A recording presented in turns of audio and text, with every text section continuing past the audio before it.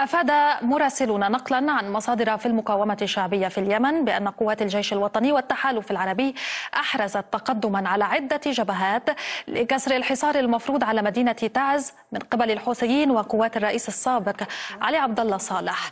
وكانت القوات الموالية للرئيس اليمني عبد ربه منصور هادي قد تلقت عتادا عسكريا من التحالف لدعمها في معارك فك الحصار عن تعز.